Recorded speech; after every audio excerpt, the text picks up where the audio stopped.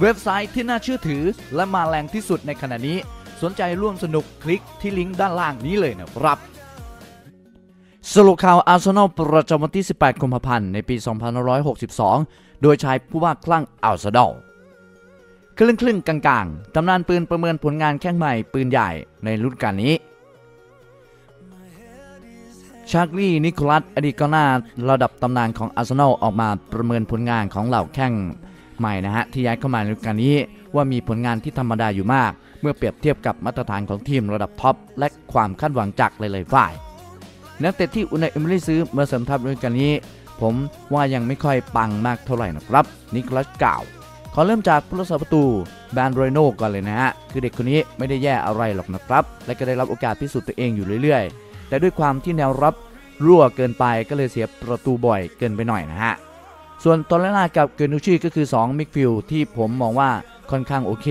แม้อายุยังน้อยอยู่มากก็ตามนะครับ ส่วนรุ่นใหญ่อย่างลิชท์สไตเนอร์ยังไม่ดีพอโซคราติสก็ด้วยนะครับสองคนนี้แย่พอกัน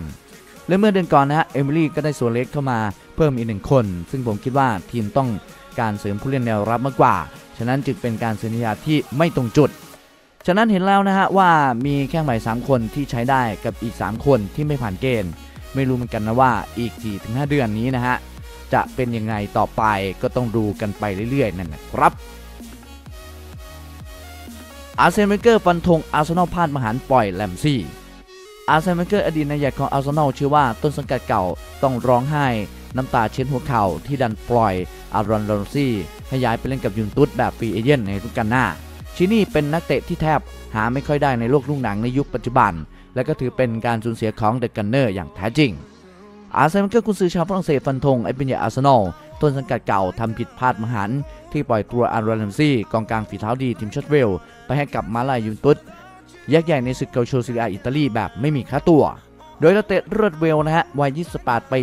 ตัดสินใจไม่ขยายสัญญาฉบับใหม่กับอาร์เซนอล โดยเลือกที่จะเซ็นสัญญาล่วงหน้า ย้ายไปเล่นกับ ยูเวนตุสพร้อมรับค่าเหนื่อยมหาศาลที่จำนวน 3 0 0 0 0ปอนด์ต่อสัปดาห์ราว 12.3 ล้านบาท และจะไปเล่นให้กับยอดทีมในลีกมักกะโรนีในฤดูกาลหน้า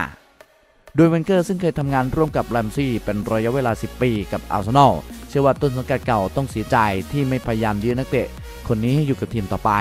มันเป็นการสูญเสียครั้งสำคัญของอาร์เซนอลผมอยากจะบอกว่าแรมซี่เป็นนักเตะที่มีประโยชน์มากๆ เขาเป็นนักเตะที่เป็นตัวขับเคลื่อนในเกมลุก เขามีคุณภาพชั้นยอดเยี่ยมในการครอบครองบอลและเขายังมีประโยชน์มากๆ คุณไม่มีทางได้พบนักเตะแบบนี้มากในปัจจุบันในยุคนี้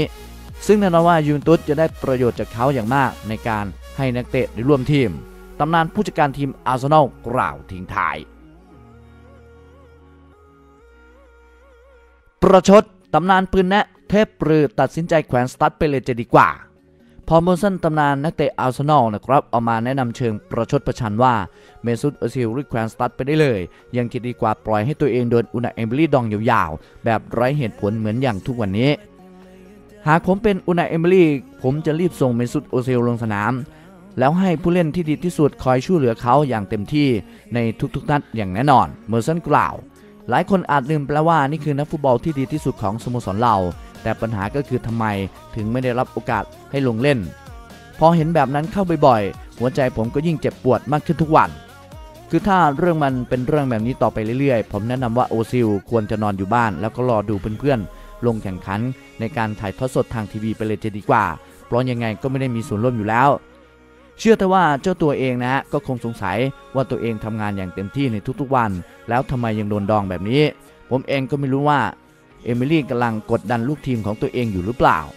ถ้าผมเป็นโอซิล ผมคงอยากจะแขวนสตั๊ดให้มันรู้แล้วรู้รอดไปเลยนะครับ นี่คือสรุปข่าวสโมสรอาร์เซนอลประจำวันที่ 18 กุมภาพันธ์ในปี 2562 นะครับ โดยชายผู้บ้าคลั่งอาร์เซนอล